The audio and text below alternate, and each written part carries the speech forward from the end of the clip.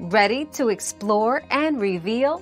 Dive into today's question and uncover the answers together. Oxycodone is generally considered more potent and effective for severe chronic pain compared to tramadol. However, oxycodone carries a higher risk of addiction and dependency. Tramadol is often preferred for moderate pain and has a lower potential for abuse.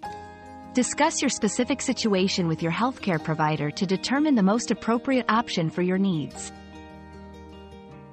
Our quest for knowledge never ends. Thanks for being part of today's discovery. Subscribe, like, and share to join us on the next one.